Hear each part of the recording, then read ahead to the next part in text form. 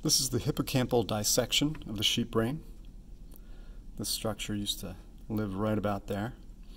I've removed most of the cerebral cortex right about here, and I've also removed the cerebellum.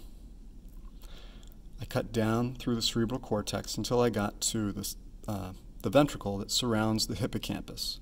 You're seeing the hippocampus right here, and you can actually see part of the ventricle that was surrounding it here. I can just peel this back. It was only really attached, once I did the dissection, it was only really attached on the mid-sagittal view as the fornix. Now you can see that the hippocampus comes around and in the midline becomes the fornix, right about there. So let's pull that aside. That's the hippocampus, important for certain kinds of long-term memory. Once we pull it aside, we reveal the thalamus. The structure right here is the lateral surface of the thalamus. We saw the medial surface on the mid-sagittal view. The dorsalmost lump of the thalamus, right here, is the pulvinar. Right underneath here is the pulvinar nucleus. The thalamus consists of a series of nuclei, chunks of gray matter, deep in the brain. it's covered up, though, with kind of a, a white matter candy shell, so you don't really see the nuclei when you're looking at the surface like this. But right underneath here is a chunk of gray matter called the pulvinar nucleus.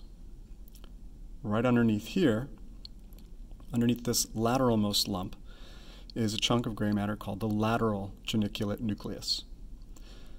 The LGN, or lateral geniculate nucleus, is the thalamic relay station for vision. This here is the optic tract. Optic nerve is right there.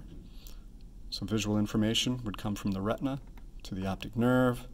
These million or so axons then carry that information right into the lateral geniculate nucleus, where those axons make a synapse with the cell bodies that make up the LGN.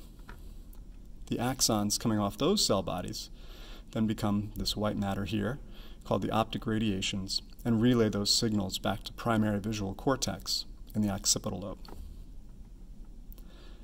Just caudal to the lateral geniculate nucleus is the medial geniculate nucleus, or MGN.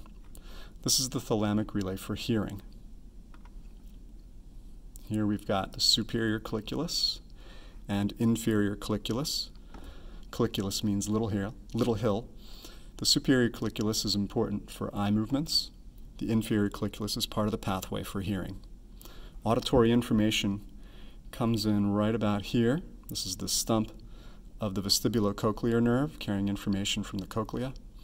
It makes a couple of synapses in the brainstem here, makes a synapse in the inferior colliculus, makes a synapse in the medial geniculate nucleus, and then that auditory information gets relayed into pr primary auditory cortex in the temporal lobe. So again, here's the, the optic tract. Just caudal to the optic tract here is the cerebral peduncle again.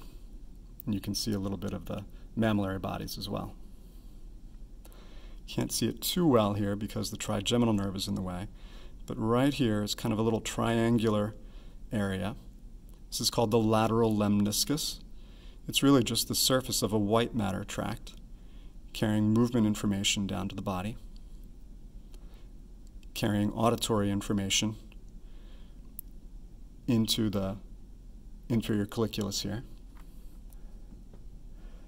This is the stump of the trigeminal nerve, which carries sensory information from parts of the face and neck and movement information to parts of the face and neck.